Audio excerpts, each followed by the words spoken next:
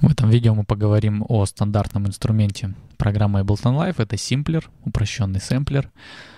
Несмотря на свою внешнюю простоту, он имеет достаточно широкие возможности, и лишь с помощью него можно построить очень-очень-очень много различных партий.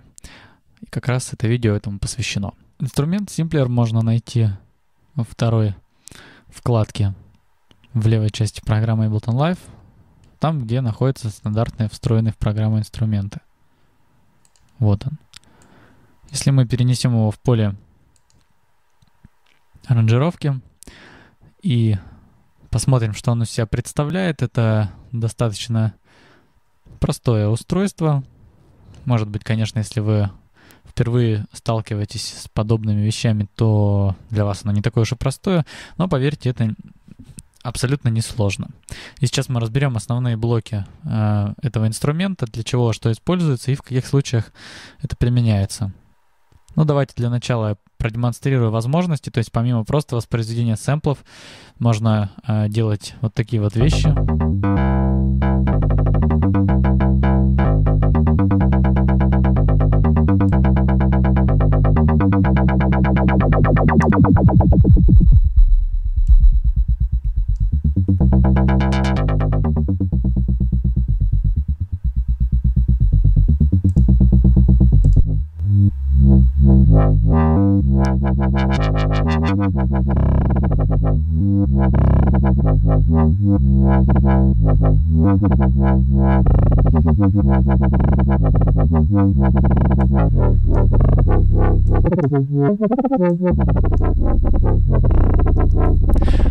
То есть, э, даже если это и симплер, то не такой уж он и симпл. В общем-то, если мы возьмем пустой инструмент, то он представляет из себя следующие блоки. Это блок для загрузки сэмпла. Давайте сразу что-нибудь сюда загрузим. Например, вот здесь есть сэмплы басов.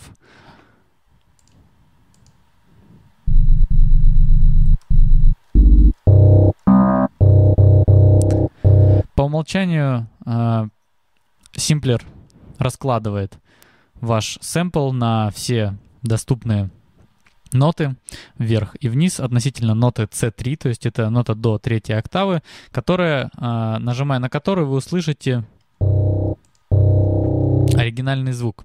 И если вы пойдете вниз, соответственно, от нее,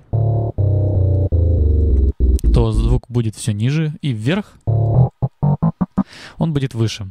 Это понятно, я думаю. Это окно, э, эта часть окна инструмента позволяет осуществлять навигацию по сэмплу вплоть до самых мелких его частей, что в дальнейшем нам очень сильно пригодится. Далее идет блок э,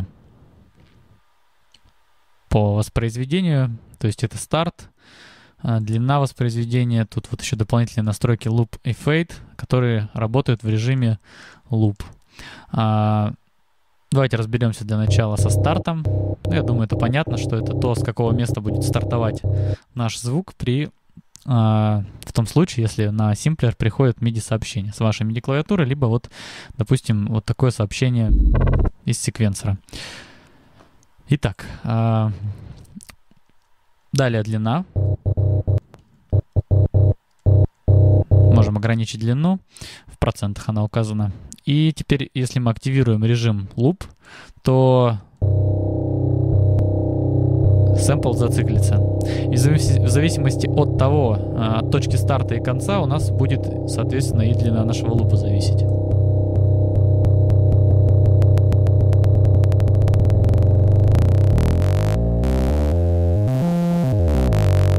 Вот таким образом получаются некоторые интересные звуки типа вот таких, которые в дальнейшем могут лечь э, в основу, например,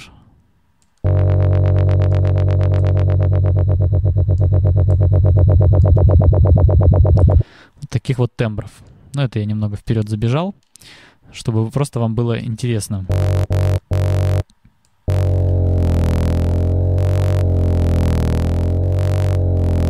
Для чего нужна кнопочка Snap?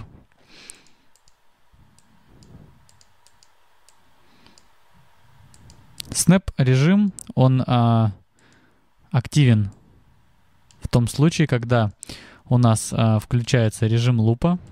Мы выставляем длину этого лупа. И а, если мы нажимаем Snap, то программа пытается найти какое-то место, где а, волна у нас уходит в нулевую точку. Для того, чтобы а, предотвратить какие-то щелчки и искажения. И если они нам не нужны, то мы нажимаем Snap и смотрим, куда программа поставила. Но бывает такое, что нам специально нужен этот щелчок, как в этом случае, поэтому мы режим Snap не, выключ... не включаем. Соответственно, если его мы выключим, то мы можем очень плавно двигаться по... А, кон... Э, выбирать плавный конец лупа, а если она включена, то это такие фиксированные места, где программа уловила пересечение, да?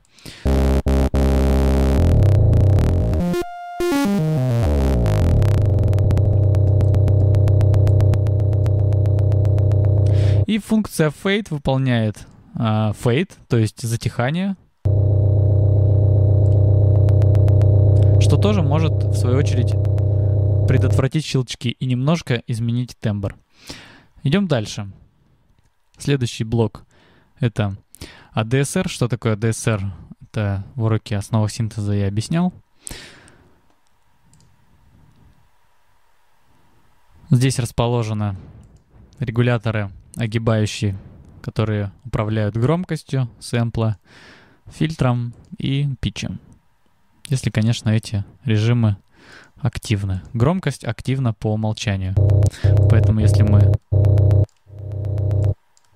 начнем мы изменять ADSR, то это напрямую сразу повлияет и на громкость.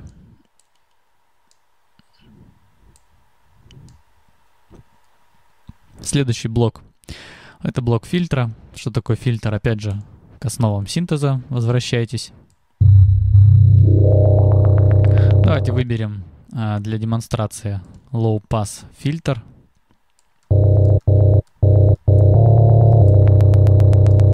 немножко изменим. Пусть будет вот такой вот э, очень яркий звук, чтобы было слышно разницу. Срежем ему вверх. И давайте э, взаимодействовать с огибающей. Активируем огибающую фильтра. Для того, чтобы э, она начала управлять фильтром, надо добавить степень влияния.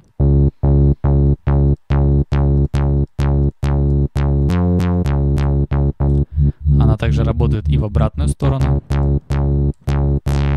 Ну и теперь мы можем здесь все очень гибко настраивать.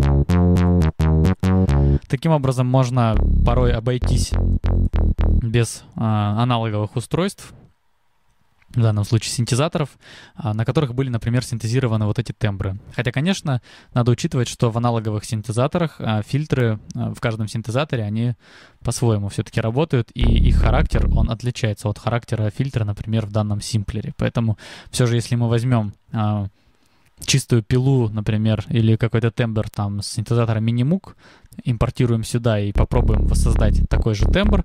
А, чем-то он, конечно, будет похож, но фильтр Minimoog все же работает по-своему, не так, как этот фильтр, и поэтому разница будет. А, для таких действий хорошо подходят различные библиотеки, в которых есть вот такие звуки. То есть импортируя эти звуки сюда, мы можем получать разные тембры.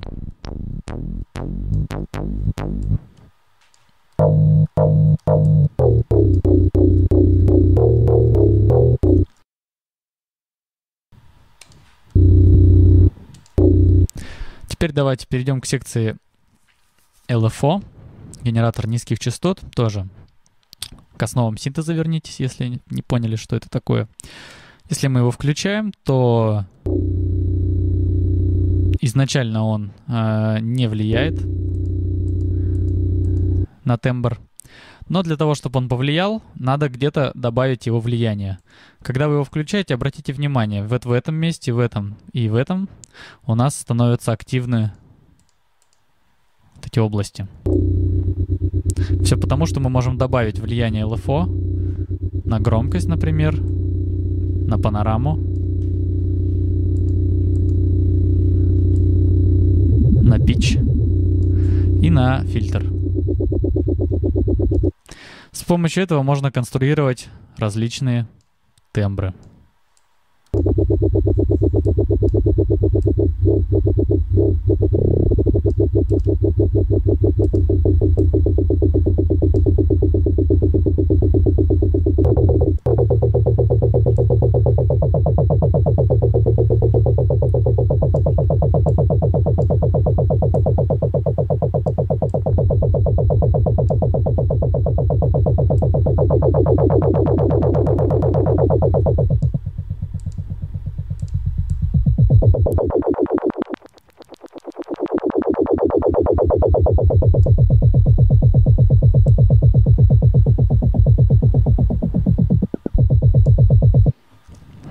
Э, изменяя, например, изначальный сэмпл, мы можем кардинально изменить звучание.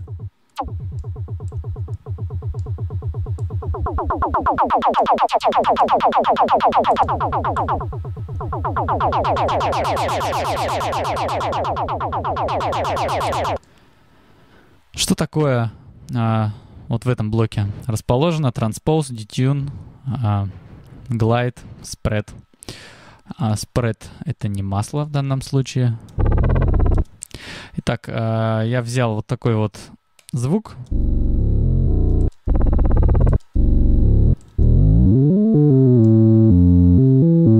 Поднимем его немножко. Не очень приятный тембр получился, но дело не в этом. Сейчас я буду объяснять, что, что это за блок. Ну, во-первых, классический транспоз. Просто плюс-минус, да, по полутонам. Опускаем, поднимаем pitch. Во-вторых, это может быть а, влияние LFO на, а, на pitch.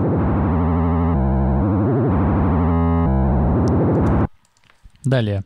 А, параметр glide это а, такое скольжение между питчем нот. То есть играет одна нота, и вторая запускается не резко, а плавно к ней а, подъезд происходит в зависимости от параметра time. А, глайд апартамента разделяется на то, что глайд больше а, имеет отношение к монорежимам, когда играет у нас, а, грубо говоря, вот здесь один звук, а параметр апартамента, когда играет полифонический а, тембр. Давайте добавим. Видите, да, что происходит а, такой подъезд. Параметр detune. Это в пределах полутона небольшое смещение, если вам нужна точная постройка, подстройка. И параметр spread — это типа что-то типа унисона. То есть э, немного э, дублируется тембр, и между ними делается детюн. Поэтому появляется такой эффект расширения стереобазы.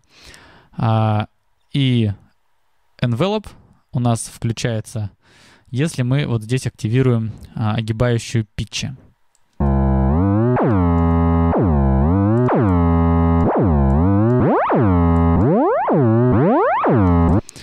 Я думаю, что с этим все должно быть понятно. И давайте к завершающей стадии подойдем. Это громкость, во-первых. Я думаю, понятно, что за громкость.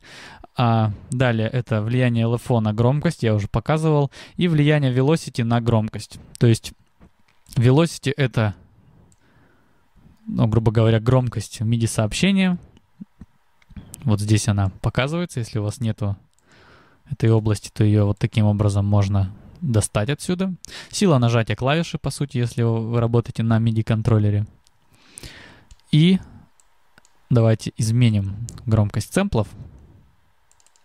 Если у нас стоит 0, то все сэмплы проигрываются с одинаковой громкостью. Если мы добавляем влияние velocity на громкость, то у нас постепенно изменяется положение дел.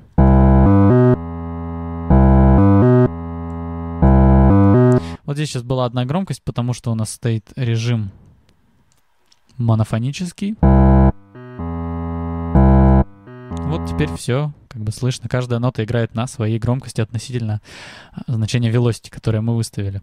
Вот такой вот инструмент Simpler. А, достаточно простой, но достаточно мощный. А, где его можно использовать? Да хоть где. Во-первых, для банально загрузки туда сэмплов, one-шотов, например.